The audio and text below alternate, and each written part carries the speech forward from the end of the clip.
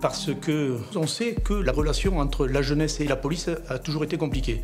Je m'en suis fait une obsession de vouloir travailler dans cette direction pour renouer le dialogue, le lien social, pour apprendre aux jeunes le savoir-être, le savoir-vivre ensemble, à travers euh, la pratique sportive, tout simplement. Parce que cet ancien policier du RAID refuse la rupture de communication entre la police et les jeunes des quartiers, avec son association RAID Aventure, il tente de renouer un contact à travers le sport. Une vie ne vaut d'être vécue que pour ce qu'elle apporte aux autres. Parce que nous devons agir.